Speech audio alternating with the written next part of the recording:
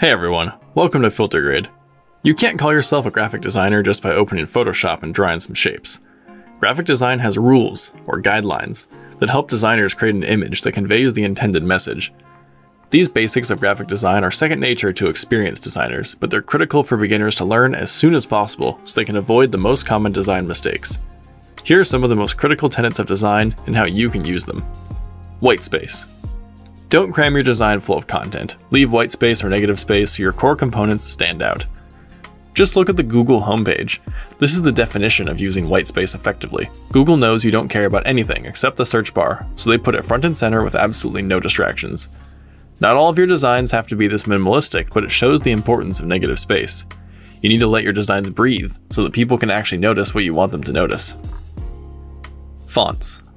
Fonts can make or break a design, and with so many cool fonts out there, it can be tempting to use a ton of them. But designs are best served with no more than two, or maybe three, fonts.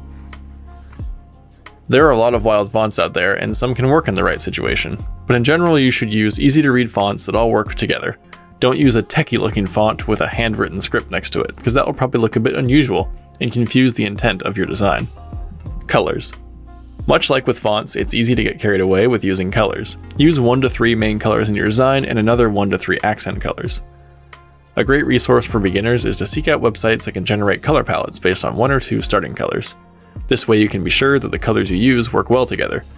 Once you have those colors down, use the main colors for most of the design, and the secondary colors for little details.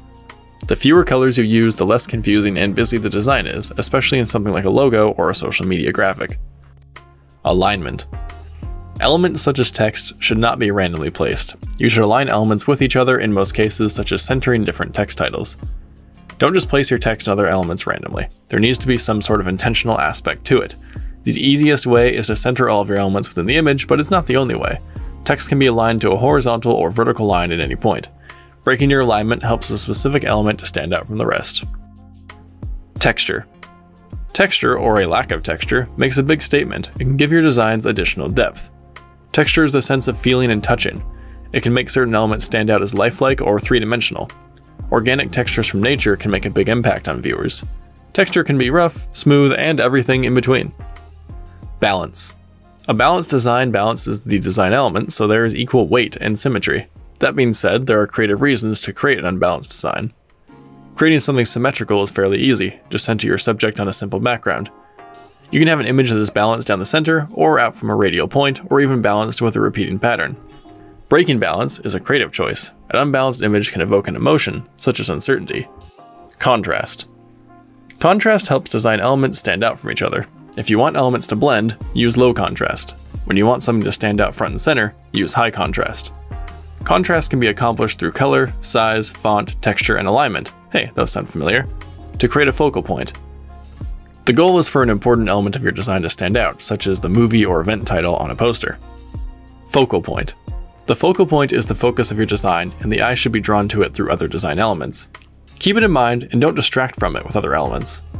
Using elements like contrast or deviating from your alignment can create a focal point in your designs. The focal point will draw the eyes and attention of viewers. Just make sure you're selective with what you highlight. If everything is emphasized, then nothing is emphasized. Hierarchy. Hierarchy refers mostly to text and is about the scale and importance of elements. Larger elements are the ones that will garner the most attention, so it's important to understand how to structure information. A normal hierarchy would include a shorter title that stands out, followed by subheadings, then even smaller details. Proximity. The relationship between different graphical elements is important. They can be connected by including them all together near the same area or connecting them through a consistent shape or color. Proximity is the art of grouping related items and distancing unrelated ones. This helps viewers understand what information is relevant and which may not be. For example, you wouldn't want your business card to scatter your contact information all around the card. Instead, your email, phone number, and title should all probably be stacked near each other since they're closely related. These are just 10 of the basics of graphic design, but there is so much more to learn. Like any skill, you will get better at design through practicing good habits. Check your practice designs to see if they're incorporating these basic elements. You can also run your drafts by a more experienced designer so they can see if you're on the right track. Until next time, we'll see you in the next Filter Grade video. If you enjoyed this video, be sure to like and subscribe and leave a comment down below. And if you're looking for professional LUTs, Lightroom desktop and mobile presets, Premiere Pro templates, and more photo and video education, visit filtergrade.com today.